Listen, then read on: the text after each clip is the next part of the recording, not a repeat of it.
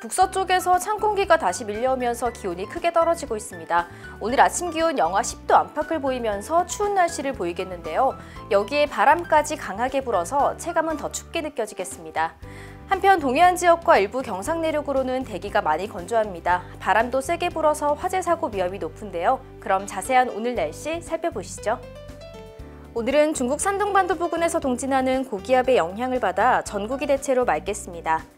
밤사이 북서쪽에서 찬 공기가 유입되면서 기온이 큰 폭으로 떨어졌는데요.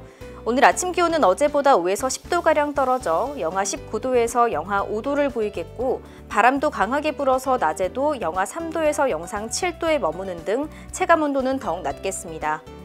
동해안과 강원 북부 산지 또 일부 경상권 내륙으로는 건조특보가 발효된 가운데 대기가 매우 건조하겠고 그 밖에 경상권도 건조하겠습니다.